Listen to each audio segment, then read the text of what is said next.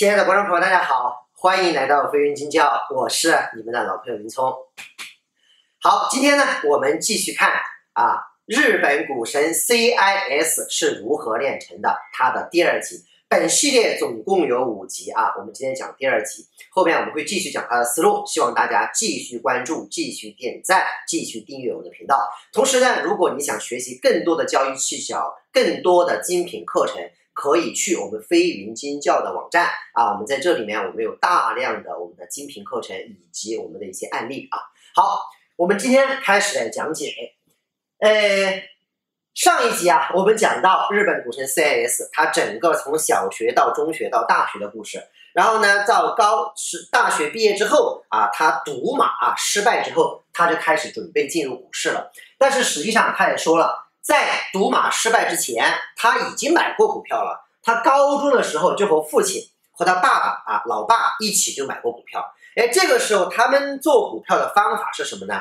他们就发现一个规律，还是这样子，他自己喜欢找规律。哎，他就发现一个规律，什么规律呢？只要是那种高转送的股票，哎，什么是高转送呢？我们飞云金教精品课里面专门有一个必学知识呢讲过了。这种高转送就是拆股啊，把股票拆开来，他就发现这种拆股送股之后啊，这个股票股价一般都会上涨。所以呢，他和他父亲就买这种高转送的这种配股送股的股票。哎，他认为高转送之后就会涨，结果呢，他实际上还是小小赚了一笔钱，只不过呢，是因为他和他父亲一起买的，他的说他父亲把钱分了啊，没给他。嗯，实际上这块啊，请大家一定要注意啊，这个只是他的一个误解啊，实际上很多的高转送，高转送之后啊，它的价格是一直下跌的，从大家一定一定要注意啊。这个并不是他的成功秘诀啊，就是他只是讲了他是怎么做这个股票的。好，在高中初入股市，学会看价格波动。他就说，虽然他也没有赚钱啊，小赚的是父亲给他分的，他也没给他。但是呢，他因为买了股票，就喜欢观察这个股票的价格，就是长期观察股票价格，让他对股价有一定的敏感。好，这是第一个阶段。第二个阶段就是他赌马失败之后，开始准备杀入股市。哎，概率天才，亏光积蓄积蓄。他即使是个概率天才，即使前面做过那么多好的投机活动，哎，他在股市里面也和我们大多数人一样，快速的亏光了家产。我们来看看他是怎么亏光的啊？他两千年以三百万日元入市，三百万日元大概折合二十万人民币啊，就是。请大家注意，这个不一定很准确啊，我只是给大家大概折一下。然后他每个月还把工资投进去一点三万人民币，继续投啊。也就是说，在他不断的亏损，亏了投，投了亏，再亏再投，一直前前后后投了一千万日元进去了，也就相当于六七十万人民币，是吧？七十万人民币，然后几乎全部亏光。所以呢，这个地方就是想说啊，股神也是人啊。啊，股神也是人，他也会犯我们的错误，所以你们犯错误，我犯错误，和别人犯错误，都是再正常不过了。因为股票市场、金融交易就是反人性的，你只要来，你有人性，你就不犯错误啊。所以说我，曾经有一个朋友，他一直来做交易，做的特别好。然后呢，有人去请教他为什么做那么好，他就一句话：因为我和你们不一样。也就是简单的说，其他的人有人性，他。没有人性啊！当然不是骂人的话，我就开个玩笑，就是说我们正常的人，你放心，来了都会亏损，因为你的人性必然所致。只有那些本来就会被人不一样的人，他们可能一上来会持续赚钱，但是这种人太少太少太少啊！好，所以呢，我们的股神和我们正常人一样，来了之后呢，几乎把一千万日元全部亏光了。但是亏光了，他就自己总结，那我为什么亏损？然后他主要写这几个原因，第一个。它是偏见的基本面分析，请注意啊，他开始是做基本面分析啊，这个明飞老师也讲了大量基本面分析的东西，基本面分析是非常有用的，股特别是股票。但是我这里面只是想告诉大家，这个股神开始他也是以基本面入手，但他的基本面是走偏了啊，不像比如明飞老师他学的本是宾夕法律大。宾大毕业的，他们就是学的最正统的、最正统的、最优秀的基本面分析。这个股神呢，他可能当时就是自认为这个是一个基本面分析，所以他是带有偏见基本面分析。他是怎么分析呢？就是找同行里面最便宜的股票啊，就比如说航空股，哎，那找到航空股哪个最便宜？比如说电子股，哎，我就找电子股哪个股票最便宜。然后呢，他也去分析它的财务报表啊，分析它的这种基本面呢，他就认为，哎，只要我的基本面好，是不是我价格又足够的便宜，那么是金子总会发光，就一定会涨起来。所以呢，他就有一个执念，就认为啊，这个股票只要它在同行行业里面价格足够低。只要它的基本面没有问题，那么是金子总会涨起来。所以这也是犯了我们大多数人一样的错误啊！偏见的基本面分析。那么买了之后肯定没涨起来啊，怎么办？哎，他就开始怎么办？亏损加仓，这简直犯了所有人大亏的一个道理。所有人大亏都是亏损加仓。大家记得没有？以前我们讲过马丁·舒华斯。马丁·舒华斯最惨的一次，一天亏了几百万美元。他老婆去买皮大衣的时候是怎么回事？就是亏损加仓，亏损加仓，亏损加仓，一路加下去，最后呢暴亏，一直到最后第二天又全部砍仓，整整这一天亏了几百万美元了啊！好，他就是亏损加仓，越亏越买，亏损补仓，摊平成本。所以关于这个，我知道很多朋友肯定有疑惑，说。那有的人就是亏损加仓赚回来呀，这就是金融交易最大的困惑之一。很多人用错误的方法，运气好也能赚钱，但是如果你跟他学，就是和魔鬼做交易，你一定会在某一天亏大，让你倾家荡产，因为你这个方法本身是错误的。你方法是错误的，你亏损只是迟早的问题。如果你方法正确，可能这段时间你亏损，但是你赚钱一定是迟早的问题。所以，请大家一定要注意这个逻辑关系。好，这是所有人的亏损，包括我们看到《幽灵的礼物》啊，我们看过我们的索罗斯啊，看过 Victor 啊，看过丹尼斯啊，看过我们很多的这种方法，每个人都告诉你，绝对不能亏损加仓，亏损加仓是最差最差的交易方法，一定会让你亏，一定会让你大亏啊。好，它也是带有偏见的基本面分析，然后亏损加仓，越亏越买。最后呢，就把他整整的这一千万日元全部亏光了。亏光之后啊，他也在思考。然后呢，这个时候呢，他运气比较好，就有一个论坛，股票论坛。因为你看哈，这是人的习惯啊，什么习惯呢？他一直都很喜欢去看一些论坛，是不是？所以呢，现在炒股他也去了看论坛，跟高手学习，然后在一个论坛里面和其他人交流，哎，他就发现这个问题，于是他就想问。股票为什么会这么便宜？庄家、大机构、大资金难道看不出来吗？哎，别人没发现吗？啊，这里面啊，我就想跟大家也说明一个道理。哎，很多人在其他行业做的非常优秀的人，来股票里面亏的非常惨，就是这个原因，因为自己认为很聪明，自认为很聪明啊。包括炒股的智慧啊，就那本书我也讲过了啊。大家也看过，那里面陈江平老师就说他在华尔街那么多年，中国那么多优秀的留学生，后来都读到都是美国最好大学毕业的，真正以炒股的养家糊口的人太少太少了，就是因为太聪明啊，就是就是就是过于聪明。好，所以说像这个地方啊，就是一个道理。他就说，好，你想啊，我这么聪明啊，我能够基本上能看出来，哦，它价格又便宜，它的这个基本面又好，它又不涨，哎，那我就好像捡了个宝似的。难道人家的大机构看不出来吗？难道人家基金看不出来吗？难道人家大资金看看不出来吗？人家为什么没有买？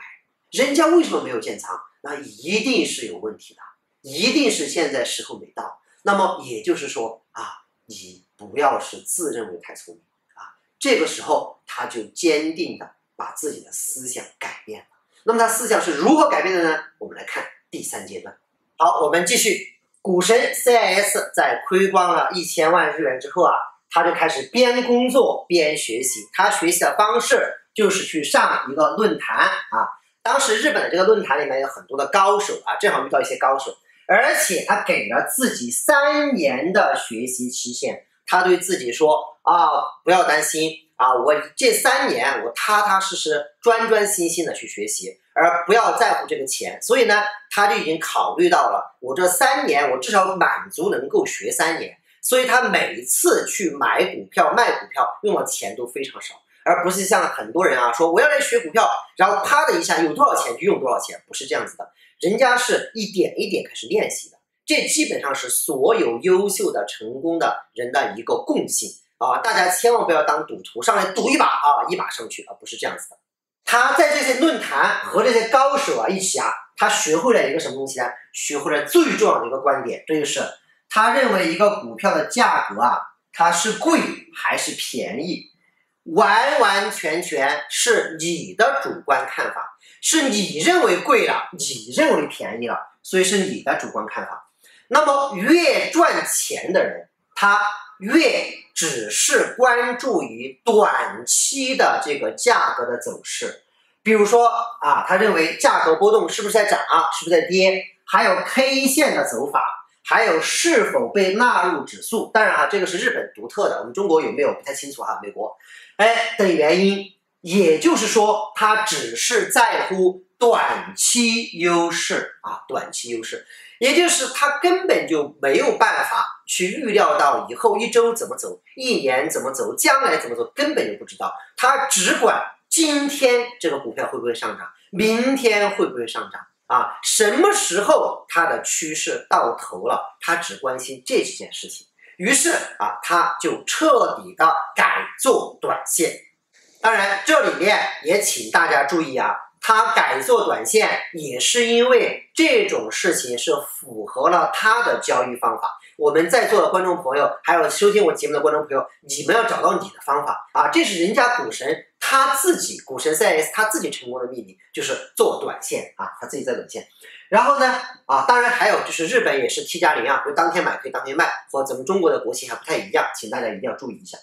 然后他就把研究的方向重点改为。股票的价格波动啊，价格波动就是它内在价值，我先放一边，它价格是如何波动的，我要重点观察，然后从实践中学习。他每天就第一个花大量的时间去观察价格的波动，半夜都会爬起来看盘啊。这如果比较重要的话，还有他跟着大资金，他开始找，比如有些是退休基金呐，有些是其他的基金呐，跟着他们的迹象去买一些小盘股啊。第三，他就最关键的一点，他开始不停的否定自己，什么意思呢？就是不停的承认错误。我们再说的具体一点，就是不停的去止损，不停的投降。啊，这一点，哎，我知道，因为我们讲其他所有人啊，索罗斯啊，维克多啊，丹尼斯啊，马丁呐，尼德霍夫啊，什么，还有日本的其他人呢，很多很多人，包括菲阿里啊，都不停的跟你说止损，包括我们的克罗啊讲的，所以有的朋友可能听的耳朵听起耳茧了。甚至就说啊，这个东西这是不是你们讲的太过分了呀？太过于强调了呀？有的朋友甚至留言说，我就打死不会止损。所以你们每次看人家这种成功的人，都告诉你，这就是秘诀啊，这就是秘诀啊，小止损就是秘诀啊。但是人性过不了，这也是我刚才给大家说的这一点。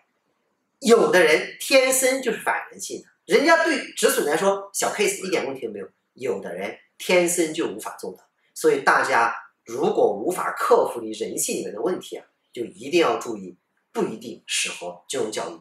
如果你正好是一个勇于承认错误的人，是一个勇于否定自己的人，哎，恭喜你！我非常希望你来做金融交易，你一定会啊比别人更快的成功。呃，能不能成功，这需要一些指导啊，比如你学费用机要的东西，只要学我们的精品课，我相信啊，你再加上你能够不停的承认自己错误，不停的否定自己。你就能够像股神一样走向盈利之路，但是你能赚多少，这个就看你自己的努力了。好，你看，所以呢，股神在他失败之后，就只是改变了这三点，就开始迅速的走向盈利啊。第一点就是努力观察价格波动，看价格如果波动了。第二，跟着一些大资金啊，跟着退休基金或其他基金去买。第三，不停的否定自己，不停的承认错误，不停的止损，错了就砍掉止损。回来了又买，如果再错再砍啊！这后面它有一些更细节的东西啊，我们下一次再讲啊。总之，他就把这几点做完了之后，他的账户就奇迹般的开始不停的增长啊。我们来看它的第四个阶段，在 CIS 找到了这个股市的诀窍，大彻大悟之后啊，他的资产就开始飞速的增长。我们来看一下啊。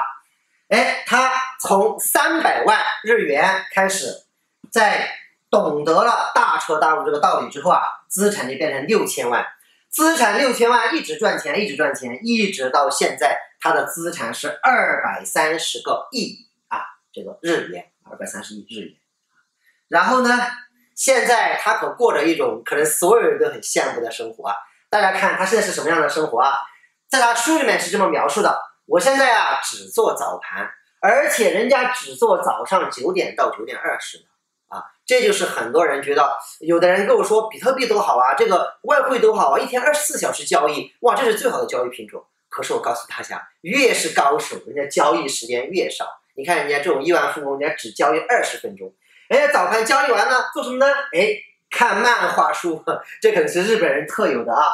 这个他只看漫画书，下午干嘛呢？打麻将，哎，玩游戏，玩那些对脑子不是特别费脑子的游戏，就是打麻将、玩游戏、看漫画书、做交易。哇，这种简直是是不是大家都特别羡慕的成功的人生啊？当然，有的人羡慕，有的人可能不喜欢啊。但是，最大多数人还是比较。自由的嘛，或者你不喜欢打麻将、玩游戏，你可以做其他，你可以做其他东西，旅游啊，或者你做一点做菜呀，或者你看看书啊。总之，你就只用二十分钟来做交易，你就可以实现人生自由，多高兴的事情啊，是不是啊？好，但是人家做到现在这种幸福的生活，人家也是经过了很多的辛苦的。你看，他说了，从三百万到六千万的时候，后来到几十个亿。他身体是越来越差。他举个例子，二零一八年，当时拉肚子拉过两百多回，可以说平均一两天拉一次肚子。然后为什么呢？他就讲他是长期的集中专注心肺，所以呢就导致啊他的身体越来越差啊，他的身体可能会得了一些病。所以呢他也告诉告诉大家就做交易啊，所以尽量的不要把身体搞垮了。所以后面他就不再全天做交易，改到只到早上九点到九点二十做交易，他身体就好起来了啊。好，这就是他的一个经历，一直就做，一直赚钱。那么他大彻大悟，到底感受到了什么呢？上上一部分我们也说了，就是他做短线。那么短线到底是个什么逻辑呢？就是概率游戏，或者是叫概率投机呀。这是不是我们飞云金教一直阐述的这个逻辑啊？所以说看了这本书之后啊，我以前讲我们很多东西啊，这个时候 CIS 这本书还没有出来呢。现在这本书出来了，大家再次证明我们飞云金教以前讲的所有的东西都是无比的正确啊！我们讲的基本面是因果逻辑，就是因为什么什么，所以什么什么，是个因果的概率逻辑。但是如果你要做短线、超短线，它就是纯粹的概率投机，纯粹的概率逻辑，它就有它的一个交易方法。好，它是一种随机概率大数法则。啊，我们这个到底怎么用？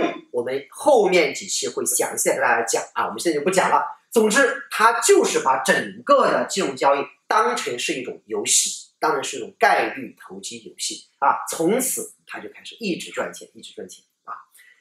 好，这里面有一个小插曲，我特别觉得特别有意思啊。哪一个小插曲呢？就是。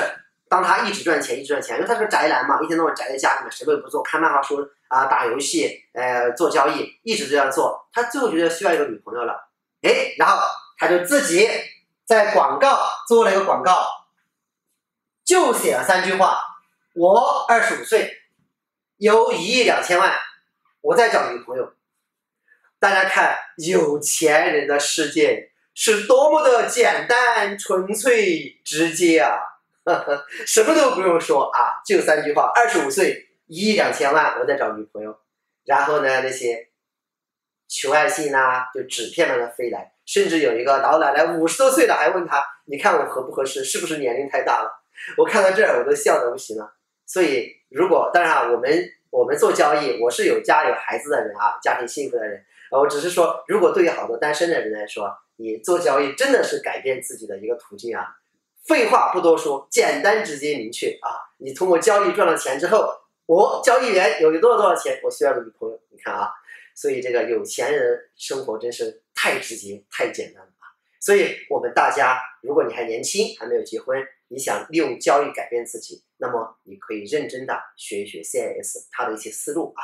当然，他自己反复强调过，我的方法是适合我自己。你看，我们也讲了上一次桌面上，他从小长大。他就特别适合做这种概率投机。那么你如果一直不适合，那么你可能要去，比如说啊，像跟明飞老师学学基本面呐，跟其他的人学一些中长线的逻辑。但是如果你本身就喜欢短线，你特别适合他这个交易方法，我相信我们下面会接着给你一级一级的讲它的理念、它的具体教育手法以及一些其他的要点。好的，非常感谢。如果你喜欢我们的节目，诶，希望你能够在我们的海外里面订阅，在国内啊，西瓜视频以及 B 站订阅，呃，还有给我们多点赞、多留言，这样子呢，我们会一直做下去啊。后面我们会做很多很多更好的系列。